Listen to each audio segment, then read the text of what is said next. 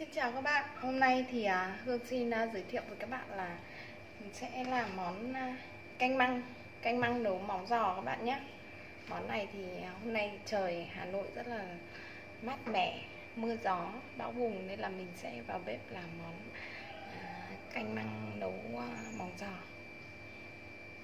Các bạn ơi, nguyên liệu gồm có đây. Măng mình đã thái rồi. Măng này là măng ở quê gửi ra các bạn ạ măng thì uh, đây là măng bương ấy các bạn ạ. Không phải là măng măng măng uh, bát độ hay là măng này đâu. Măng này măng bương nấu rất là ngon. Nhưng mà măng bương này thì mình phải luộc lâu luộc hai nước. Ngon. À, mình chuẩn bị móng giò mình đã thái à mình đã trần qua nước rồi. Trần luộc qua rồi.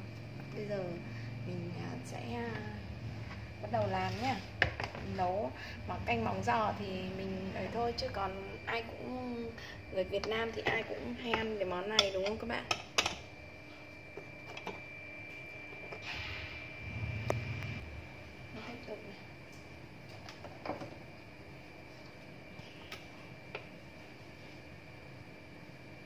Cho một chút dầu ăn vào.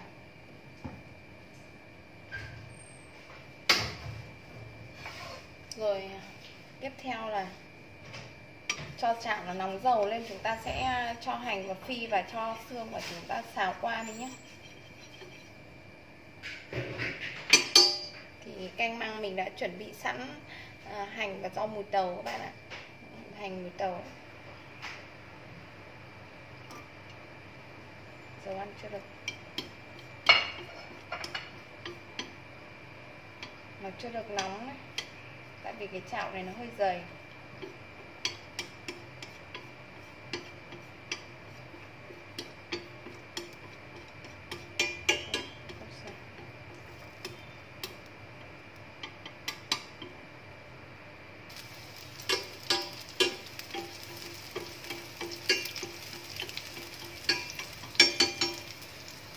Các bạn ơi, hành đã được rồi. Mình sẽ thả móng vào nhé. Mình sẽ tiến hành thả móng vào to vậy và chúng ta sẽ đảo nó lên cho gia vị mắm muối vào mình đảo lên không là mình à, mới cho vào ninh.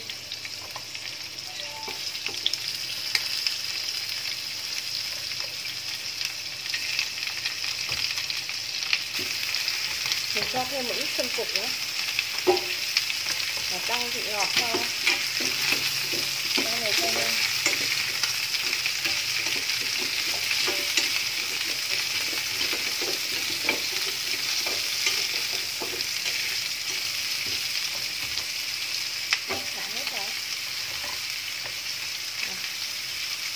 gân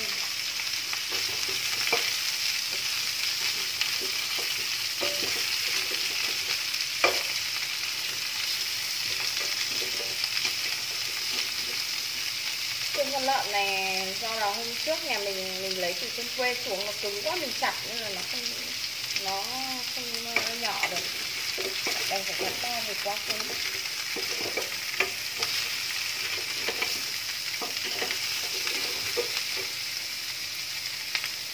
mình sẽ cho hạt lên hạt lên của thịt cơ lao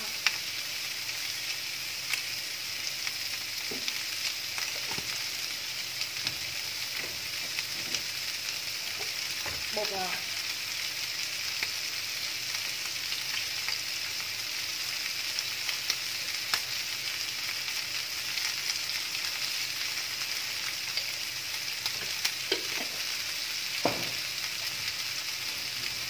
một chút nước mắm.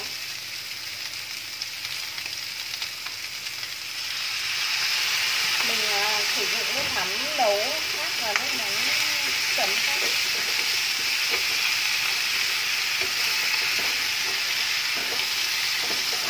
chúng ta đảo lên cho nó thấm gia vị đều để chúng ta cho vào nồi chúng ta nấu có thể cái nồi này sẽ bị nhỏ các bạn mình sẽ đổi cái nồi khác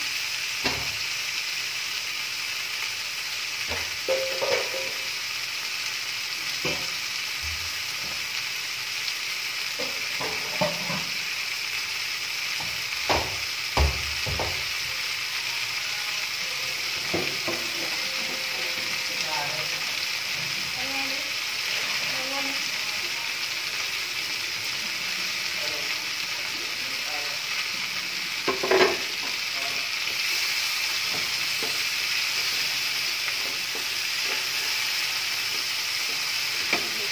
này to hơn các bạn cho một tí à, Chú kể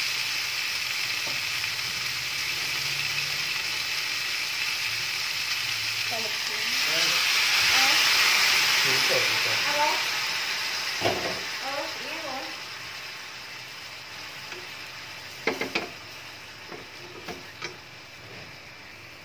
các bạn ơi, vậy là mình đã xào xong xương rồi.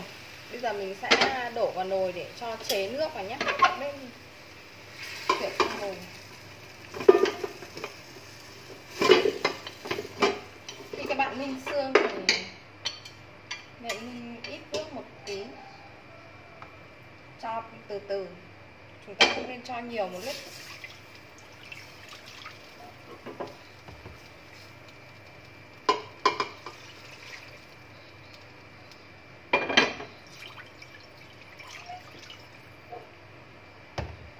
Hôm trước mình cũng phơi, lần trước mình giới thiệu đấy, thì mình cũng phơi được một ít măng khô. Do là ở quê gửi ra măng tươi nhiều quá nên là mình quyết định mình sẽ nấu măng tươi trước, còn măng khô mình sẽ nấu sau à, bây giờ mình cho dầu vào, cho cũng cho một ít thôi.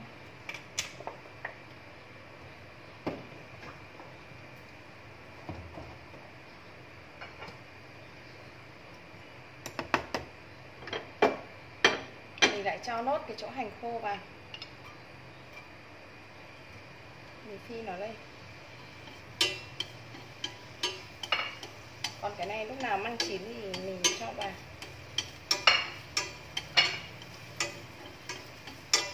Là chúng ta ăn bao nhiêu thì chúng ta múc ra bấy nhiêu rồi chúng ta ừ, chế ờ, ừ, hành vào nhé nếu mà là không thì nó sẽ để hôm sau đun lại nó sẽ hỏng mất phí nhà mình nấu thế này mình ăn hai bữa luôn.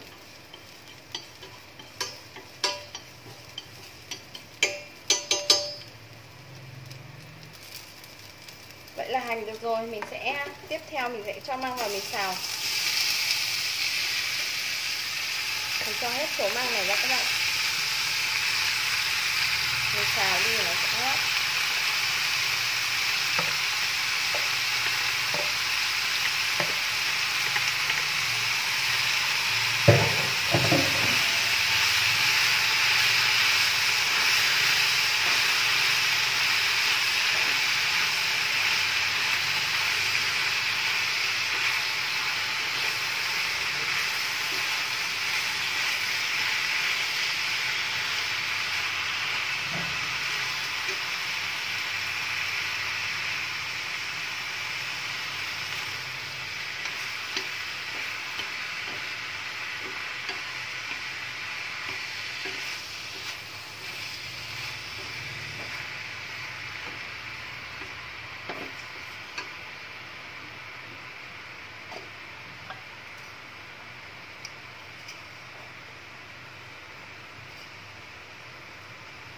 cho gia vị mắm muối như thế này thì nữa mình không cần phải cho gì nữa đâu các bạn ạ.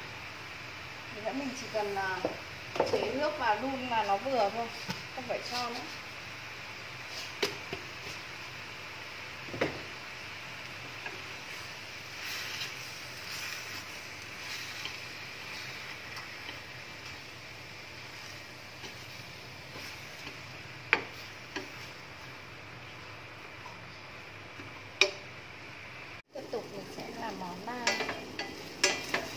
大米饭哦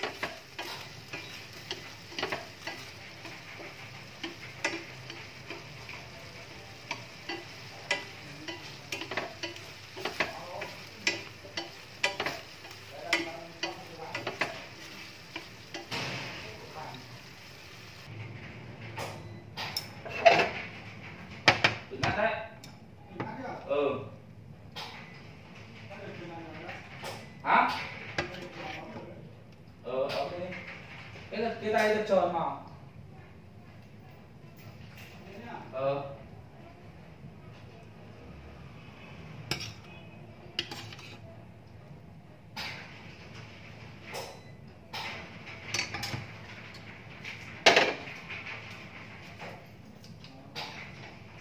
Chuyển sang, bắn lại, chuyển sang bên này để ấy cho chị kiểm tra bên này này. Nó đang nó bị xuống nó bị niêm man này. Nó không tròn lô.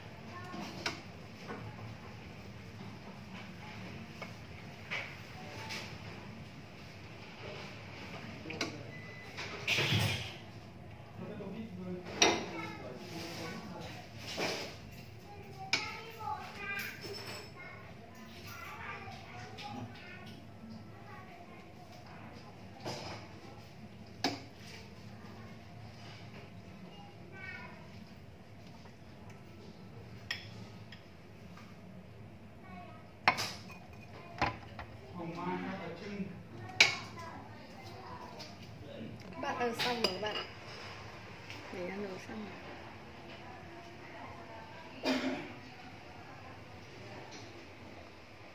Xin cảm ơn mọi người nhé. Cảm ơn mọi người đã theo dõi mình. Xin chào, tạm biệt và hẹn gặp lại.